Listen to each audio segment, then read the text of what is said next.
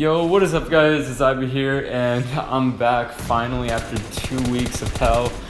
I am finally released, and oh my god.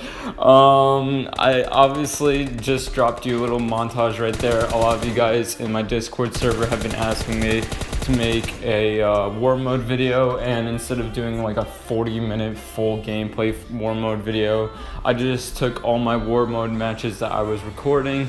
I compiled it up into a montage and there you go. And obviously that first shot in the very beginning of the video was probably one of the best out of all of them. I don't even know how I hit that. Uh, but uh, yeah, now I will be streaming quite soon. Obviously, I'm just telling you guys what's been happening. Um, I've been preparing to make better and better streams. I'm actually going to start doing tournaments during my streams um, with prize pools and stuff like that. So that's going to be quite awesome.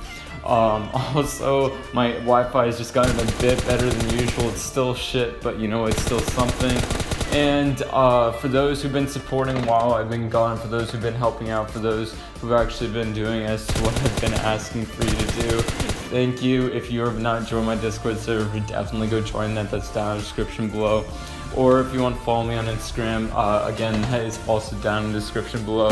And yeah, there will be new GFX art coming to the channel. Obviously, as you saw, the new intro made by Donnie. Thank you, Donnie, for that. And that's pretty much it for that I can mention for now.